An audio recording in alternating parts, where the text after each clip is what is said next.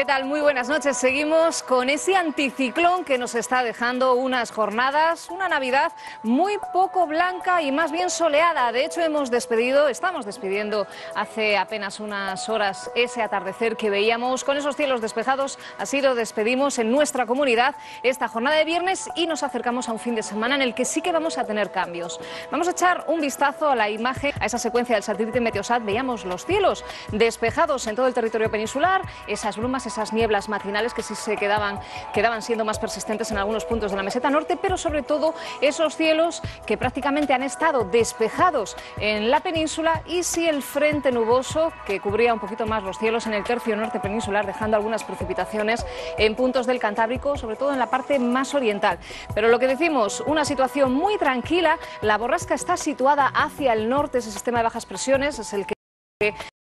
ha dejado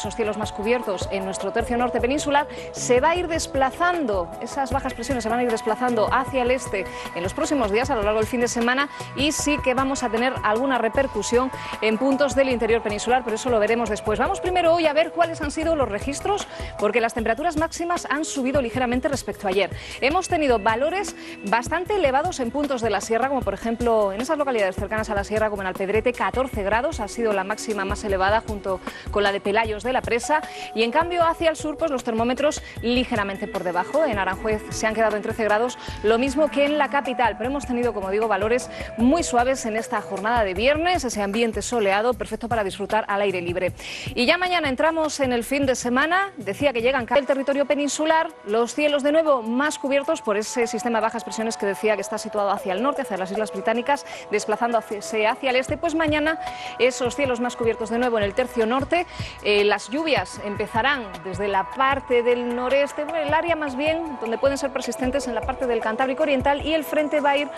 acercándose hacia el noroeste peninsular durante la tarde ya seguramente acabará alcanzando con esas precipitaciones, pero de forma más débil también a la zona de Galicia, noroeste de Castilla y León y el entorno del sistema ibérico. Pero ya decimos que van a ser más persistentes en la parte más oriental del Cantábrico, además con esas ráfagas fuertes de viento de poniente. En los Pirineos, cota de nieve entre 1100 y 1400 metros mañana. Las nieblas, no solo en puntos del interior, se van a producir a primeras horas, también pueden volver a ser persistentes en algunas zonas de la meseta norte. Y en el resto, ambiente muy poco nuboso como vemos y con temperaturas que ganan algún grado en la zona del Mediterráneo, donde a primeras horas en el archipiélago balear sí que pueden tener alguna precipitación dispersa, pero van a subir, como decimos, en el área mediterránea y en cambio van a perder algún grado en Canarias, donde van a tener una jornada muy soleada.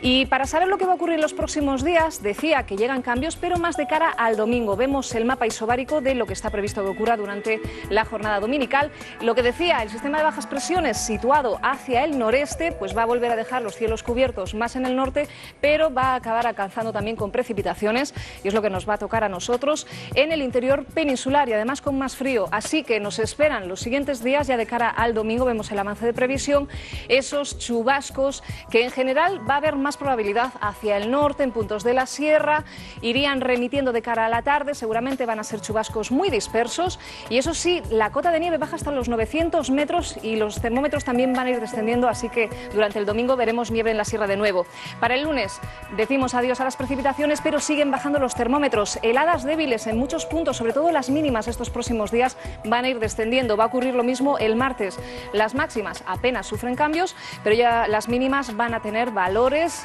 eh, por debajo de los 0 grados en muchos puntos de la comunidad y eso sí seguiremos con el mismo ambiente soleado. Nos espera un anticiclón para la próxima semana, así que lo que vamos a tener va a ser el domingo lluvias, después ambiente más soleado, anticiclón ciclónico durante la próxima semana, una despedida de año con sol, pero con temperaturas ya muy frías. Vamos a empezar con esa tónica típica de invierno. Y decía que las navidades no están siendo muy blancas porque estamos con ese anticiclón que apenas ha cubierto un poco los cielos